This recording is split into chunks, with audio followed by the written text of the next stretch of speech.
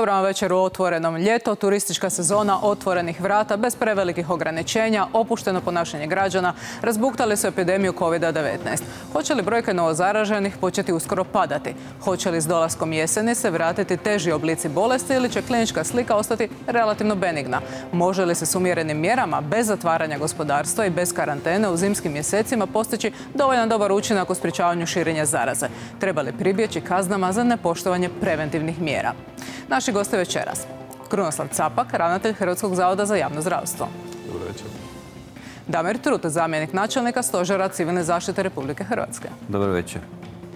U Splitu imamo dva gosta. Ozren Polašek, član znanstvenog vijeća vlade za borbu protiv koronavirusa. Dobro večer. Ivo Ivić, predstojnik klinike za infektologiju KBC-a Split. Dobro večer. U Bujama je s nama Dino Kozlevac, načelnik stožera civilne zaštite Istarske županije. Dobro večer vama, gostima i gledateljima. A u Osijeku pozdravljam Domagoja Drenjančevića, voditelja Zavoda za kliničku mikrobiologiju i bolničke infekcije u KBC u Osijek. Dobro večer. Uvodni prilog za početak emisije pripremila je Nataša Ledić-Grgurić. Danas u Hrvatskoj je nešto lakša situacija i s brojevima i s mjerama.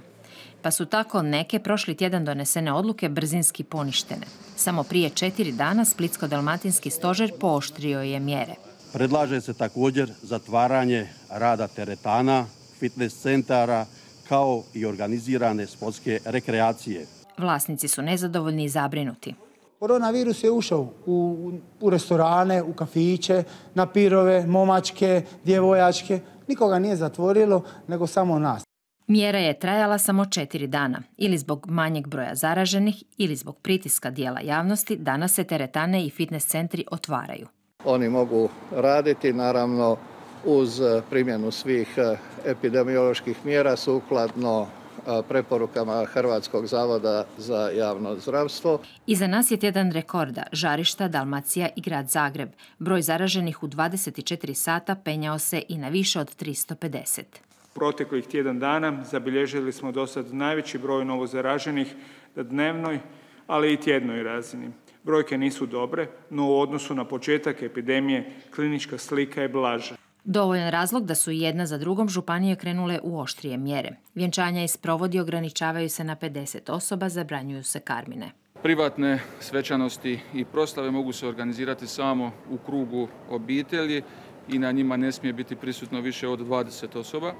Koronavirus je ušao i u zdravstveni sustav, sve više zdravstvenih radnika zaraženo. Šestotinjak ih je u samoizolaciji. Liječnici apeliraju na građane da se pridržavaju epidemioloških mjera. Mislim da bi sada trebalo razmišljati o kažnjavanjima. Evo, da pošteno kažem. Dakle, za nepridržavanje mjera. I Italija primjerice nenošenje maske kažnjava s 400 eura, u Bavarskoj sa 150. Za osoblja trgovina ta kazna iznosi čak 5000 eura. I dok se otvaraju nova žarišta u Aziji, Francuskoj i Španjolskoj, raste broj građana koji se bune protiv oštrih mjera svojih vlada. Tisuće prosvjednika na ulicama Berlina. Ovdje sam jer zahtijevam ono osnovno što mi pripada, a to je poštovanje mojih ljudskih prava, ne ona koja mi vlada u ovom trenutku dopušta. Želim da mogu javno reći da su mi ljudska prava ugrožena, a ova vlada mi to ne dopušta. Prosvjedi i u Francuskoj i u Velikoj Britaniji. Poručuju maske su nepotrebne, ograničenja preoštra, život se mora vratiti u normalno stanje. Ovdje sam jer već mjesecima nitko ne poštuje ljudska prava, nitko se ne brine o slobodi izbora. Ovo nije normalan život. I kod nas je dio građana nezadovoljno strogim mjerama. Za 5. rujna najavljuju prosvjed pod nazivom Festival slobode. Organizira ga Inicijativa za ljudska prava i slobodu.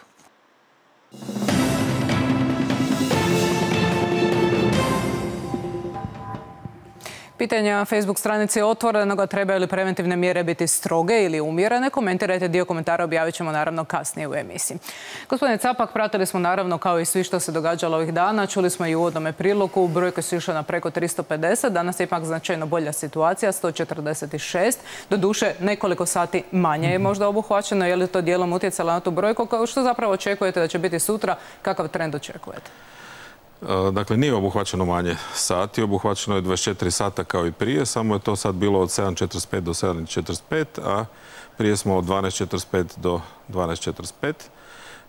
Dakle, smatramo da je zbog obuhvata ovih 24 sata, kad većina ljudi radi u jednoj ili u dvije smjene i većina laboratorija, tada radi većina epidemiologa, da trebamo obuhvatiti upravo taj 24-satni period i ujutro, dakle, neki rade i treću smjenu, naročito infektološki odjeli, dakle, oni i noću primaju pacijente koji dođu i da u 7.45 imamo približno točnu informaciju što se dogodilo u zadnjih 24 sata, a osim toga to je i mediji su u anketi izrazili da im više odgovara jutarnji termin zbog pripreme za izvještavanje za prve dnevnike, popodnevne i večernje dnevnike. Kakav trend očekujete?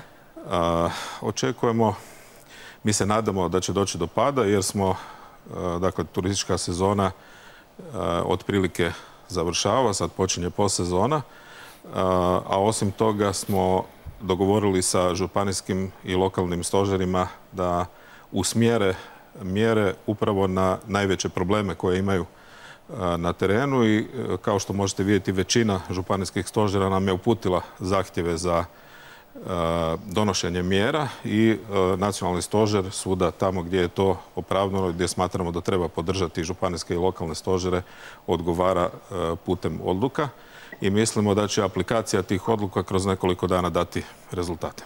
Još uvijek se čeka do duše nešto duže na nalaza. Ide li to sada ipak malo prema boljem? Hoće li se skratiti to vrijeme dobivanja rezultata nalaza? Dakle, tu je najveći problem se tu stvorio na dva mjesta. Dakle, jedno je u jednoj dalmatinskoj županiji koja je ostala bez reagencija, pa su slali na druga mjesta na testiranje, što je produžilo čekanje za nekih 12 do 24 sata.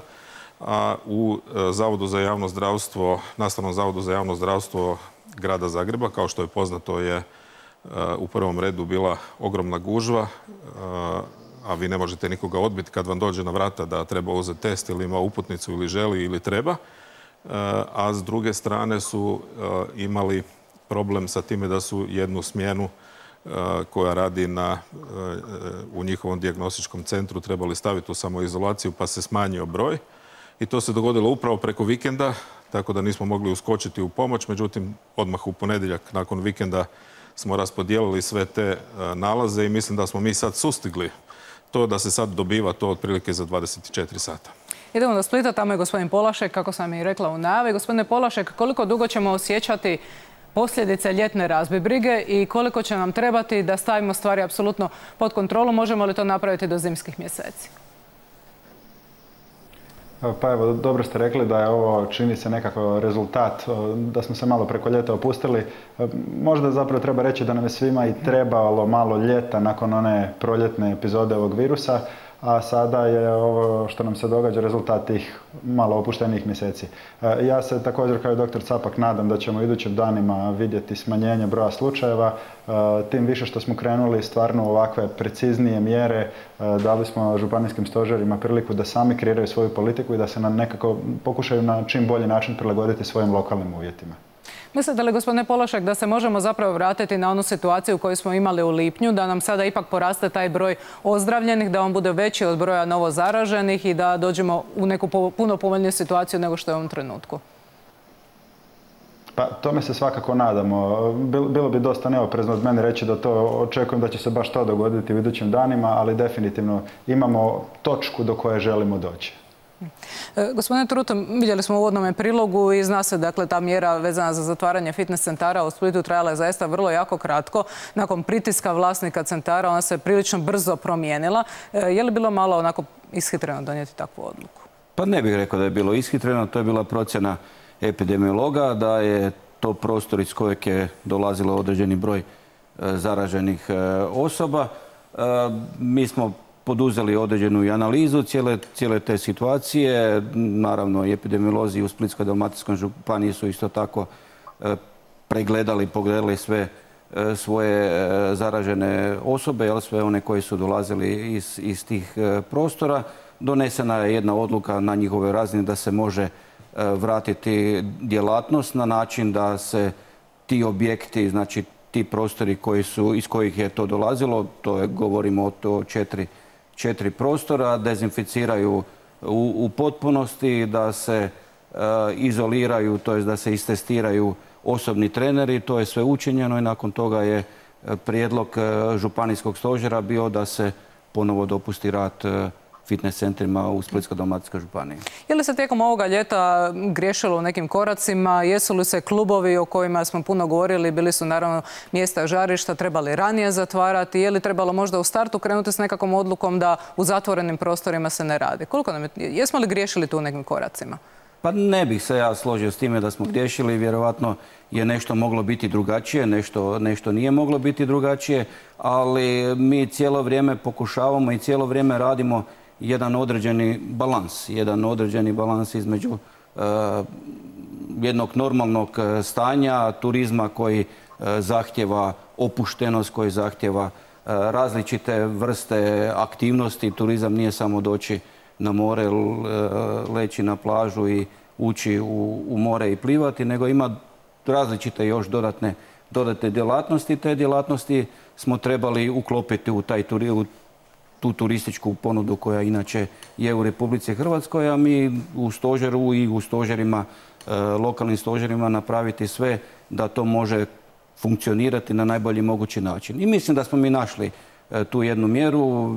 Vidljivo je iz broja turista koji je dolazio u Republiku Hrvatsku i to je zaista jedan, jedan veliki broj. Ne smijemo ni zaboraviti da smo mi u jednom trenutku imali skoro milijon više stanovnika u Republici Hrvatskoj nego što imamo Inače i to je još jedan dodatni, dodatni element koji se ne računa u cijelom ovom dijelu e, računanja broja zaraženih i, i ovaj, stanja i situacije u, u, u državi. Mislim da, da sve mjere koje je stožer donosio su bile zaista umjerene, da su bile e, ono kirurški precizne, točno su išle na lokacije gdje se pojavljivalo određeni, određeni e, problem, a sad je je nešto moglo biti tjedan prije ili tjedan kasnije, netko, netko bi zaista ovaj, poduprao tu, tu teoriju ili, ili taj stav da se tjedan dana kasnije nešto otvori ili zatvori, dok bi druga skupina ljudi bila obrnuto. Tako da velim uvijek taj jedan jedan balans koji smo evo mi u stožeru radili i držali i mislim da je on imao dobro utjecaj.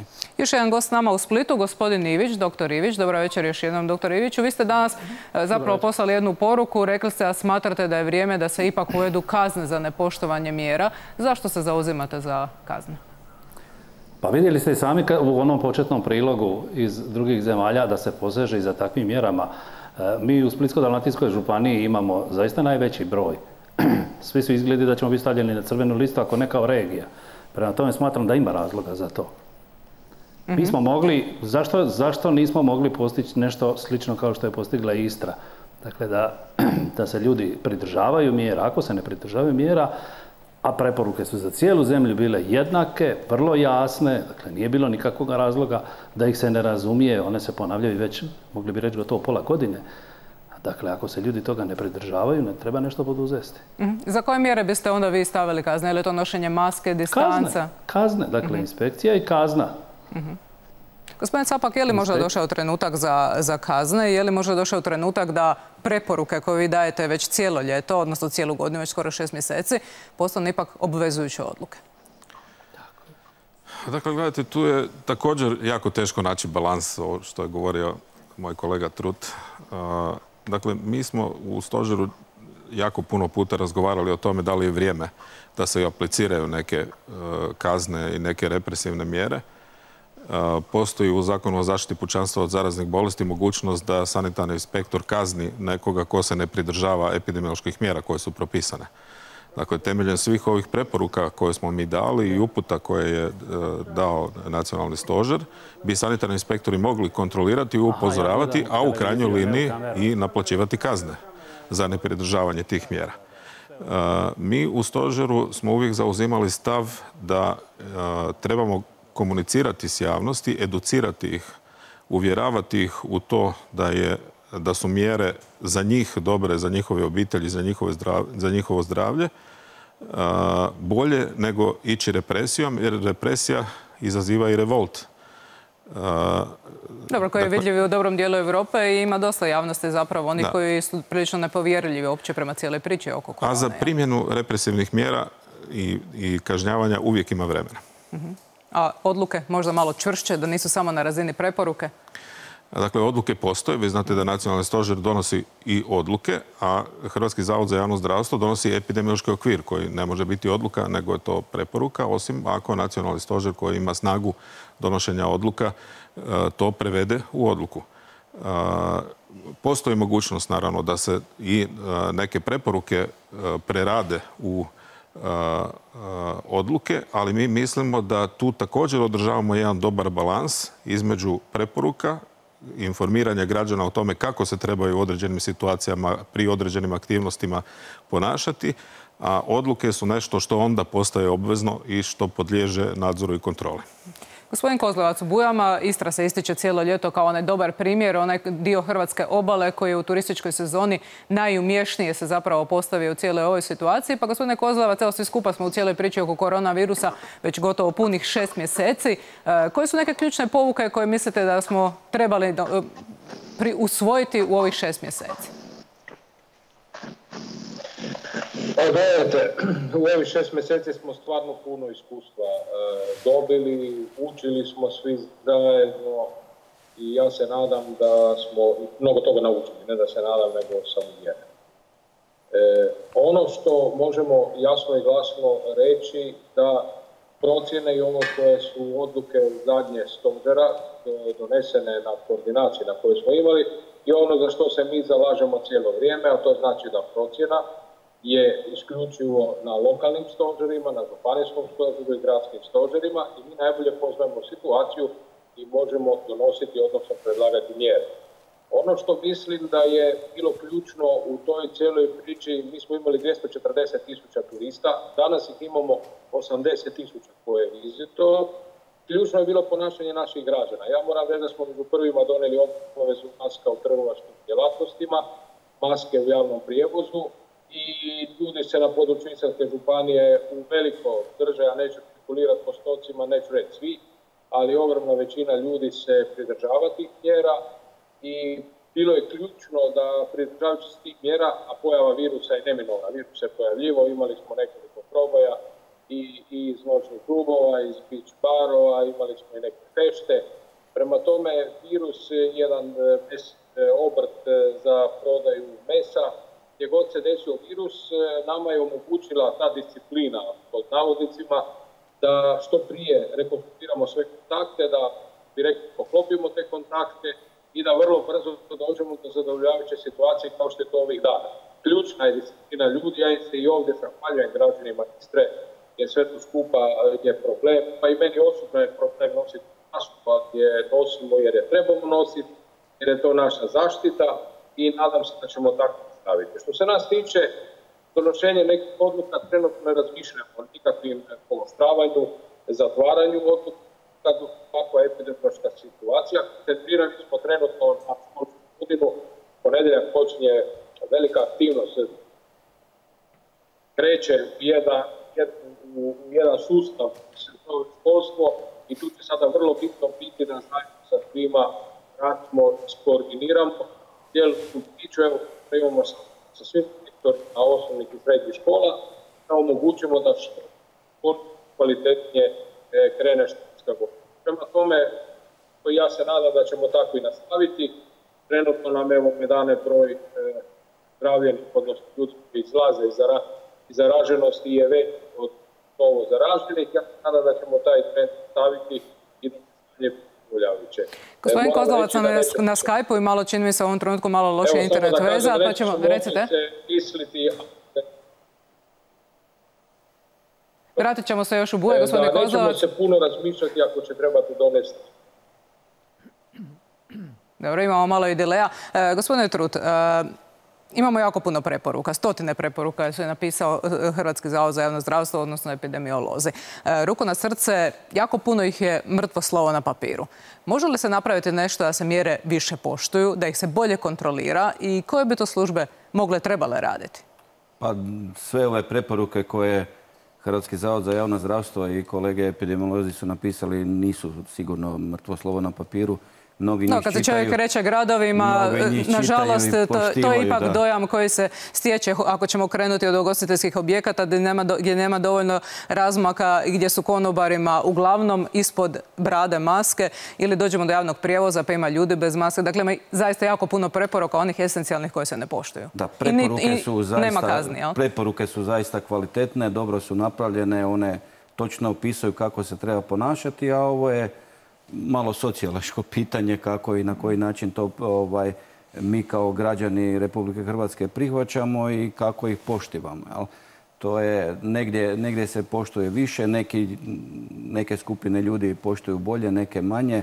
Tako, takvi smo kakvi jesmo. Mi od prvog dana smo se odredili, ovo što je i kolega Capak rekao, da educiramo, da usmjeravamo ljude, da im e, dajemo određeno znanje, da ih e, osposobljavamo. Može li kontrola biti bolja? Osposobljavamo. Kontrola je strahovita. Mogu vam reći da je kontrola strahovita, da inspektori civilne zaštite, inspektori državnog inspektorata, e, policija, službenici civilne zaštite, pričuvnici civilne zaštite na tisuće i tisuće nadzora dnevno, dnevno izvrše diljem Hrvatske upozoravaju, e, mole, pokazuju kako, na koje načine se i to e, načine treba, treba raditi i zaista to ima. Ima svoju svrhu i ima svoje, svoje rezultate. Naravno da bi mi svi želi da to bude i bolje i da se svi ponašamo onako kako je Hrvatski zavod to propisao, ali e, puno, puno drugih i preporuka i propisa se isto tako ne poštiva. Nažalost je to takva situacija. Evo, odredili smo se, odredili smo se da ne kažnjavamo, nego da educiramo, jer držimo da je kazna nekako trenutni, e, trenutni rezultat i trenutno utječe. Edukacija je dugoročnija, ona može e, educirati ljude i naučiti ih kako se treba ponašati. Pred nama je još e, dugi put, puno toga još je pred nama, evo, pretpostavlja se sigurno i, i cijela jesen i zima, vjerojatno i dio dio iduće godine i zaista ako, ako se ne naučimo ponašati onda će nam biti teško. Ali samo ako kažnjavamo onda ćemo, vjerujem, e, stvoriti još veći, još veći otpor u jednom dijelu stanovništva. Treba, treba poštivati preporuke, treba poštivati ne samo ono što su napisane, te preporuke se prenose na različite načine i putem Facebooka, raznih društvenih, društvenih mreža, edukacija na, na licu mjesta, kroz razne napise, mediji, vi to strahovito dobro isto tako radite, prenosite prema, prema javnosti i mislim da zaista oni koji žele poštivati i koji su dobro namjerni da oni to i rade. Nepovjerenje malo raste, gospodine Capak. Ljudi se malo bune. Bune se diljem Europe, ne samo u Hrvatskoj u javnosti. Pa da, gledajte, ja uvijek kažem da je da ta ljudska prava su naravno strahovito važna i da ih moramo poštivati i čuvati. Međutim, također postoji pravo na zdravlje. Ako s ovim ponašanjem ugrožavamo zdravlje drugih, onda ugrožavamo nečije pravo na zdravlje. U rimsko doba, kad je nastao procvat javnog zdravstva i brige o ljudskom zdravlju, je vrijedila poslovica salus populis prema lex esto. Dakle, zdravlje ljudi je najviši zakon.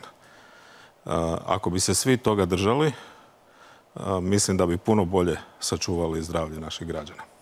Gost nas čeka u Osijeku, gospodin Trenjančević. Gospodin Trenjančeviću, e, čitam evo u medijima, dio medija je prenio slučaj jednog e, Hrvata koji živi u Njemačkoj, koji se prema tim napisima zarazio dva puta koronavirusom. Sad, nije se čulo baš previše za takav broj slučajeva, međutim, kad bi se takvi slučajevi pojavili, što bi nam to značilo?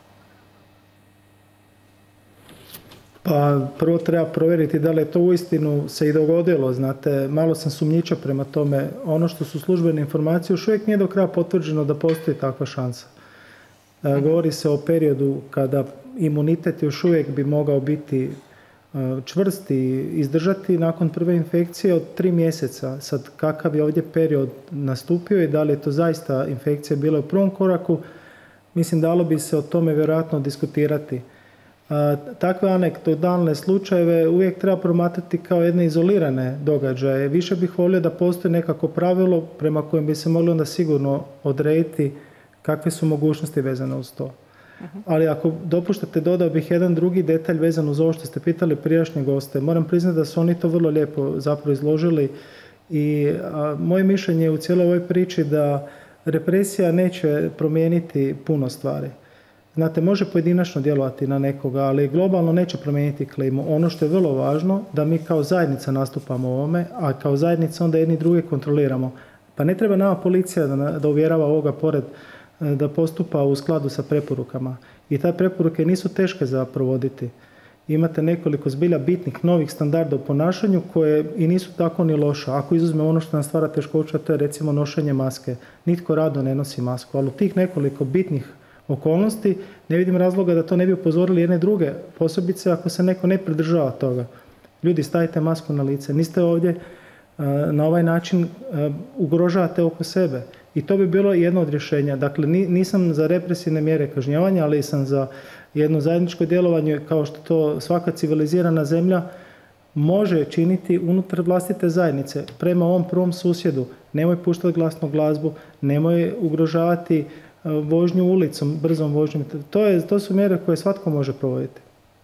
Evo mogu ovdje osobno potvrditi s obzirom da na HRT-u se provode mjere obaveznog nošenja maski e, već mjesec dana, a naše radno vrijeme je malo onako duže i malo e, drugačije. 10 do 12 sati nošenja maske pa nije neka nauka i nije baš neki toliki napor, samo se treba malo naviknuti. Idemo na gospodina Polašeka ponovno u Split. Gospodin Polašek, malo sam se dotaknula i tog nekog nepovjerenja zapravo koje se pojavilo u javnosti. Ima onih koji smatraju da je sve oko koronavirusa u stvari prenapuhano, pa prema onima koji sumnjaju zapravo u ozbiljnost i težinu ovoga virusa i bolesti. Kakva je vaša poruka? Pa, uistinu ste rekli vrlo vrijednu stvar da nepovjerenje raste i ako pogledamo zapravo taj cijeli problem, tu je sve pitanje perspektive. Za jednu zdravu mladu osobu ovaj virus za, za nju osobno uistinu možemo reći da ne predstavlja veliki zdravstveni rizik i odatle kreće recimo nekakav otpor. Međutim, ako pogledate e, osobe koje spadaju u starije dobne skupine ili koje imaju nekakve kronične bolesti, a najvažnije ako pogledate cijeli zdravstveni sustav e, koji mora funkcionirati, ovaj virus može stvoriti vrlo e, veliki problem jer, jer može u kratko vrijeme iskoristiti zdravstvene kapacitete, e, što će značiti da onda zdravstveni sustav neće moći pružati odgovarajuću zdravstvenu skrb za kronične bolesnike i za njihova stanja o kojima smo inače e, do tada imali dobru kontrolu. E, tu se odmah i postavlja pitanje imaju li ove mjere u smisla i, i tu je opet dosta teško odgovoriti, međutim postoji jedna jednostavna računica koja nam može prikazati vrijednost mjera ako uzmemo recimo Sjedinjene američke države kao primjer e, sustava koji nema jako snažne mjere i primjenimo njihovu stopu smrtnosti na našu populaciju, dođemo do rezultata da bi mi od početka, od, pojave ove pandemije do sada imali oko 2200 e, smrtnih slučajeva u Hrvatskoj, a imali smo manje od 200, što znači da vrlo jednostavnom računicom možemo reći da su mjere spasile oko 2000 života. Tako da e, razumijem ideju za protest. Jasno je da, da su ove mjere na neki način zahtjevale od gospodarstva te, ponekad teške, gotovo i nemoguće situacije, ali ovo što smo već prije rekli, ne smijemo samo gledati slobodu, uz slobodu moramo apsolutno gledati i drugu stranu te priče, a to je odgovornost. Gospodine Capak, traje ta svjetska utrka za novim cijepivom. Naravno, poznata je činjenica da je Rusija već registrirala prvo cijepivo, međutim, onako svjetska znanstvena zajednica uzima to, taj sputnik još uvijek sa priličnom dozom rezerve, jer sva klinička ispitivanja nisu završena, nije obavljena ta treća faza. Evo, današnja informacija je da Venezuela e, velikodušno nudi Rusiji dobrovoljce za provođenje te treće e, faze kliničkog ispitivanja. Pa očekujete li vi, evo, jest isto tako iz Oxforda, oni kažu da su jako blizu, da bi do kraja godine mogli oni završiti svoj posao. Mislite li da bi onda početkom 2021. zaista na tržištu moglo biti neko cijepivo? Pa cijepljenje populacije je vrlo izgledan završetak ove korona krize. I mislim da je dobro da cijepivo dođe na tržište što prije. Da kako kad se registrira cijepivo, onda je još potrebno proizvesti doze za 7,5 milijardi ljudi mislim 7,5 figurativno jer 7,5 milijardi ljudi postoji na svijetu, a pitanje je da li će se svi cijepiti, da li će se moći cijepiti, da li će se htjeti cijepiti. mi smo sad već prilično daleko odmakli, ali od početka govorimo da ta ispitivanja do registracija onako kako je to propisano lege artis i kako Europska agencija za lijekove i naša agencija za lijekove zahtijevaju da se napravi, traje jedno određeno vrijeme. Dakle, vrlo je malo vjerojatno da do nove godine mi možemo imati registrirano cijepivo koje će krenuti u proizvodnju za čitavu populaciju. Ovo sa ruskim cijepivom, Rusi su sasvim sigurno sposobni proizvesti cijepivo, oni u tome imaju velika znanja i iskustva, međutim, pomalo je neozbiljno staviti na tržište cijepivo, a zapravo je to treća faza kliničkog ispitivanja jer nije cijepivo testirano na dovoljnom broju dragovoljaca. Dakle, mi trebamo pričekati, a to se i radi, da po kautelama Svjetske zdravstvene organizacije i Europske agencije za lijekove se pojavi cijepivo i Hrvatska je poduzela čitav niz mjera oko toga da za nas bude rezervirano cijepivo skupa sa Europskom unijom idemo u takozvani joint procurement, zajedničku nabavu, ispričavam se, cijepiva, gdje smo mi naručili određeni broj doza koje su sada za nas rezervirane potpisivanjem ugovora i mi ćemo za to naravno morati platiti određene rezervacije i kad se cijepivo proizvede mi ćemo ga dobiti dakle skupa sa svim drugim zemljama Europske unije koje skupa s nama sudjeluju u toj nabavi. U međuvremenu čeka nas cijepljenje protiv gripe. Rekli ste mi prije početka emisije da ove godine smo već unaprijed rezervirali, odnosno nabavili, kupili veći broj cijepiva nego što je to bilo prethodnih godina, oko 500 tisuća. Hoće li to biti dovoljno? Pa srećom, mi smo od 2009. godine kad nam je drastično pao e, broj e, ljudi koji se cijepe, koji imaju interes za cijepljenje protiv gripe, sada već značajno povećali te brojke, jer mi smo prije 2009. cijepili negdje oko 700 tisuća ljudi u Hrvatskoj, onda smo pali na ispod 100. E, međutim, prošle godine smo, osim što smo redovitom nabavom nabavili 340 tisuća doza, trebali nabaviti još dodatne doze jer se pokazalo dodatni interes. Ove godine smo srećom naručili puno veću količinu cijepiva, iako nismo znali za COVID kad smo naručivali, jer to se sve radi unaprijed. Dakle, mi imamo trogodišnji ugovor sa farmaceutskim industrijama i proveden javni natječaj u kojem se stavke ugovora teško mogu mijenjati, ali mi intenzivno radimo na tome da još tu puno veću količinu povećamo. Osjeća li se nekakva jagma na tržištu i za ovim cijepivom ovom Sve zemlje svijeta i Europe u ovom trenutku traže dodatne doze kojih nema. I sad to ovisi o našoj spretnosti i mogućnosti e, menadžera farmaceutske industrije koja s nama ima trajnu suradnju da uspiju rezervirati negdje E, dodatne doze. Mi s njima imamo izvrsnu suradnju i nadamo se da ćemo u tome uspjeti. E, spomenuo je gospodin Polašek situaciju sa e, zdravstvenim sustavom i ako ga opteretimo. Jedna specifična situacija u Splitskoj bolnici. Gospodine Iviću, vi ste također danas uputili apel. Imate problem sa, nažalost, sa štićenicima domova za starije, kojih je popriličan broj sada već u vašoj bolnici, na vašem odjelu, koji nemaju simptoma, a ipak dolaze kod vas u bolnicu. Koliki vam je to problem? značajan problem. I jedan, I jedan bolesnik koji nema simptome, dakle nema potrebu za liječenjem je značajno opterećenje za zdravstveni sustav, posebno zdravstveni sustav KBC-a Split koji je deficitaran u kadru, prvenstveno sestrinskom, ali reći ćemo i do najniže razine, pod, pod navodnicima najniže, dakle čistačic, spremačica. Dakle, i jedan. U ovom času imamo 24 takva bolesnika E, a ukupni broj hospitaliziranih sa COVID infekcijom je 68. Dakle, oni čine jednu trećinu trenutno hospitaliziranih. Mhm. Što mislite da bi trebalo napraviti? Koje bi bilo rješenje? Pa vjerujem da bi se moglo naći i drugo rješenje, dakle drugi način praktički izolacije takvih bolesnika jer njima nije potrebno liječenje. Mi imamo u ovom času pet bolesnika na respiratoru, 28 njih koji su na kisiku opskrzljeni smo dobro kisikom, ovim bolesnicima to ne treba. Oni nemaju niti povišenu temperaturu. Dakle, njima je potrebna njega. Naravno da ako se pojave simptomi, ako se razbole, pa bolnica je za to da liječi bolesne. Mhm, mhm. Znači, opcija bi bila neki drugi rezervni kapacitet, hajmo tako reći, on? Tako je. Mhm.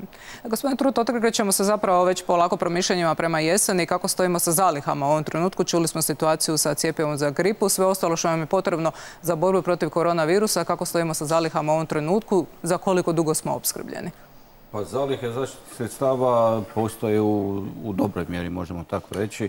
Ovaj, obskrbili smo se tijekom e, ljeta, napunili smo skladišta i zaista ako krene u nekakvu e, povećanu potrošnju ili povećanu potrebu za zaštitnim sredstavima, mislim da nemamo nikakvih problema. Ono što je isto tako dobro za napomenuti da tijekom ovih mjeseci su i određeni subjekti u državi počeli proizvodnju zaštitnih sredstava, tako da iz tog aspekta smo u puno boljoj situaciji nego što smo bili e, u drugom ili u trećem mjesecu kad je bilo kompletno sve zatvoreno i ovisili smo o jednom malom dijelu e, zaštitnih sredstava koje su se nalazile u skladištu ravnateljstva civilne zaštite, skladištu robnih rezervi ili nešto što je bilo zaista vrlo malo po bolnicama. Danas ta situacija je sasvim, sasvim drugačija. Uh gospodin Drenjančeviću, ono čega se mnogi pribojavaju, to je naravno dakle, ta sezona gripe i što će se događati zapravo kada se spoje ti virusi. Pa kakve scenarije vi očekujete, kakva su vaše razmišljanja, što kada dođe do tog e, suživota ne samo koronavirusa i zdravih ljudi, već koronavirusa i gripe i nas svih e, cijele zajednice? Pa ništa, to je sigurno neizbježno. Pazite, gripa dolazi. Ona svake godine iznova dolazi u naše podneblje i to je potpuno očekivan događaj. To će sigurno stvoriti jedan problem u dijagnostičkom smislu, ali vjerujem da korištenjem suvremenih testova moći će se jasno razlikovati i to brzim testovima što je grip u ovom trenutku, a onda nakon toga će se isključiti korona. Na tržištu će se i pojaviti vjerojatno i novi testovi koji će moći još u kraće vrijeme istovremeno dokazivati oba virusa.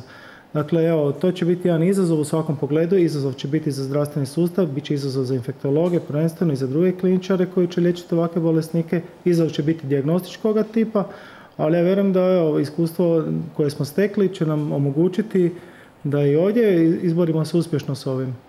A virusi su tu s nama, oduvijek i bili i mi ih stalno možemo očekivati. To je uobičajena stvar zapravo.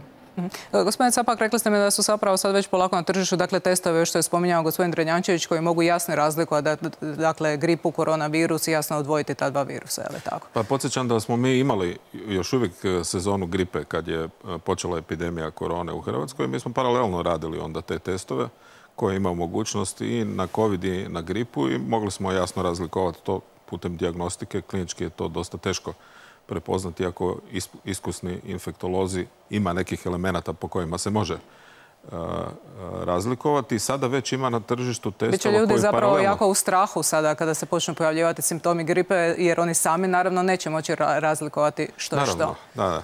Ali, uh, kažem, sad već na, na tržištu postoje testovi koji mogu paralelno, dakle u isto vrijeme odrediti i gripu i COVID i gripu A i B. Pitanje je sad koliko će ti testovi koji se sad razvijaju do momenta pojave gripe biti razvijeni, prihvatljivi, pouzdani. Mi se nadamo da da i da ćemo u 12. mjesecu kad očekujemo početak sezone gripe imati takve diagnostičke testove na ključnim mjestima i da ćemo moći pomoći kliničarima u diagnostici i također i u primarnoj zdravstvenoj zaštiti naravno. Mhm. E, gospodine Trut, e, pitanje koje možda zanima sve vlasnike ovih objekata koji trenutačno rade do ponoć. Snaga, e, mjera ostaje na snazi do daljnjega. Neće se skidati. Ne, neće se skidati. Ona ostaje do daljnjega. Procijenit će znači, epidemiolozi na terenu kako to utječe. Mislim da nema ni potrebe da se duže radi od ponoći. Idemo pogledati što kažu naši gledatelji na našoj Facebook stranici otvorenog. Pitanje je dakle bilo e, trebaju li mjere biti stroge ili mogu biti umjerene, da vidimo što su kazali. Mile Alat kaže strože mjere za ulazak u bolnice i staračke domove, a ostalo treba biti sve normalno, jer da nije novina i medija, tko bi znao za koronu, tretirali bi je kao malo jaču gripu. Ivana Hoffman, Prestanite s nabrajanjem zaraženih, ukinite mjere jer virusa je oduvijek bilo i bit će. Nećete sačuvati ljudsko zdravlje, nego ste ga vi svojim mjerama i tekako uništili. Ivica Kolić, za brzi i efikasan cilj uvijek se koristi čekić sistem. Naravno da to donosi veću štetu, ali pruža mogućnost brže uspostave ispravnog stanja i takozvani clean start, dakle strože. Boško Drmić. Možda je korona TV virus, možda nije. Jedno je sigurno, netko će od struke morati predati svoju diplomu ili će to biti oni koji šire paniku ili oni koji je umanjuju. Neće ostati bez posljedica. Atis Alvaro. Švedska ima 5821, a Norveška 264 umrlih. Omjer stanovnika je 10 prema 6, omjer umrlih je 22 prema 1 ili ti 132 prema 6. Unatoč tome švedsko gospodarstvo je nastradalo više od okolnih. Dakle, treba podhitno napustiti švedski model koji je vlada potiho prošvercala u turističkoj sezoni, inače ćemo imati puna groblja. Eto, tako kažu naši gledatelji, dosta šareno. Naravno da ima zastupnika i jednoga i drugoga mišljenja. Idemo polako prema kraju emisije. Idemo najprije do gospodina Kozlevca u Istru. Gospodine Kozlevac, dakle, jesen je pred nama. Što nam je činiti da se što bolje zaštitimo od daljnjeg širenja zaraze koronavirusom? Pa, prvo trebamo pomno pratiti svako promjenu stanja na terenu. E, ne se libiti donositi odluke koje će treba donesti odluke, odnosno predložiti odluke. E, nismo više pristalice lockdowna širokoga, nego točno ciljano da se to radi o objektima, da se radi o više objekte, da će se raditi u ulici, naselju i tako dalje, onda tu provoditi mjere oštrije da se što prije stanje sanira. Lockdown kompletan više ne bi imao smisla, prema tome pomno pratiti i situaciju donositi mjere. E, koncentraciju, ponavljam, trebamo imati sada na škole, na školski sustav, jer što prije tu moramo disciplinu, kao što polaže kolega Spita, e, provoditi. Nismo pristalica kazni, represije. Represija nije nikad dobra, odnosno ona da rezultat, ali generalno nije dobra. Prema tome, to nam je dalje činiti, biti spremni, mi smo sustav spremili, vjerujem da smo ga spremili na području županija da možemo govoriti na puno ozbiljnije izazove. Hvala vam lijepa. Gospodine Iviću, vaša poruka našim gledateljima? Odgovorno ponašanje, to je najvažnija odluka. Preporuke su poznate i samo uz odgovorno ponašanje mi možemo sniziti intenzitet širenja. Mi ne možemo zaustaviti širenje ovoga virusa, ali nama je važno da snizimo njegov intenzitet, da održimo uz tako niži intenzitet i gospodarske aktivnosti i funkcionalnost zdravstvenog sustava. Dakle, tu bez građanja ne možemo ništa napraviti. Zato su moji, moje poruke ovako bile malo i oštrije, jer ipak živimo u jednoj sredini u kojoj je situacija malo drugačija. Hvala vam lijepa. Gospodin Polašek. Svi smo u ovom zajedno. I kao što su i sugovornici prije rekli, važna je odgovornost i važna je briga o zdravlju svih. E, moramo nekako iz ovoga isploviti zajedno i zato još jednom apeliram na pridržavanje svih mjera koje su stožeri i druga tijela predlagale, jer sve te mjere služe za kontrolu razine ove epidemije. Gospodine Drenjančeviću, kako se spremiti za jesen i sve izazove koje ona donosi? Pa već je sve stvarno rečeno. Mogu samo ponoviti jedna higijena života koja podrazumijeva postupanje prema novim standardima ponašanja koji će osigurati i spriječiti zapravo širenje virusa u nekom jačem intenzitetu. Hvala vam lijepa. Hvala svim našim gostima Split, Buje i Osijek. Gospodine Trut, neće biti zatvaranja, je li tako? Pa jesmo tu lekciju sada svladali ili odradili taj dio? Ne, prema sadašnjim zaključcima i kako raspravljamo na e, nacionalnom stožeru zatvaranja onog cijelokupno kako je bilo to vjerojatno, ne vjerojatno, nego sigurno, sigurno nećemo biti. Evo, kako je kolega Kozlevac rekao, usmjereni smo na, na onaj kiruški dio, znači da rješavamo epidemiju, to da rješavamo zarišta u onim objektima ili onim prostorima u kojima se ona, ona dogodi i da ne dopuštamo da se ona širi dalje. I zaista, evo, treba, i ja ću ponoviti što su i kolege rekli, odgovorno ponašanje svih nas kao zajednice, kao društva, slušati preporuke, dezinficirati se, držati razmak, maske di treba i sve ono ostalo što evo kolege epidemiolozi predlažu i preporučuju. Hvala vam lijepa. Gospodine Capak, zapravo kakvu jesen i zimu očekujete? Možete li to uopće odgovoriti u ovom trenutku?